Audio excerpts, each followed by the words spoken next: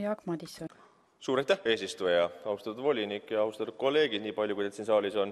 esiteks tuleb kiita loomulikult Belgia politseid väga hea töö eest, et äh, leida kuussada tuhat eurot äh, kilekottides või poekottides Europarlamendi kontoritest on muidugi märkimisväärne töö.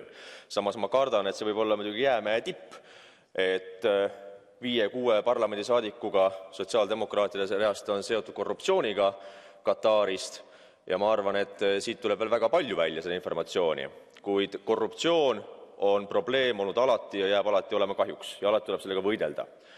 samamoodi on korruptsioonihõnguline Euroopa Komisjoni presidendi tegevus.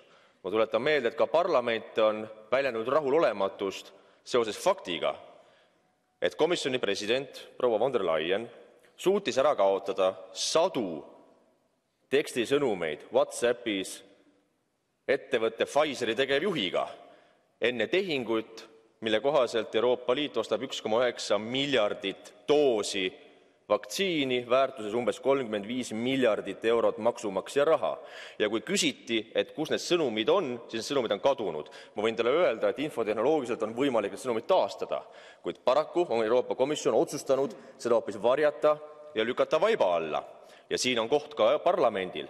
kui me tahame tõesti korruptsiooni vastu võidelda, siis see tuleb võtta liistule, nii nagu on öelnud ka ombudsman Emily O'Reilly, et see on vastuvõetamatu, selline salastamine, sest vastasel korral see näeb välja ja see haiseb nagu ehtne korruptsioon. vastasel korral oleme me siin, õigemini teie siin olete koos Euroopa Komisjoniga suurimad korruptandid terves Euroopa Liidus. sellega tuleb tegeleda. aitäh!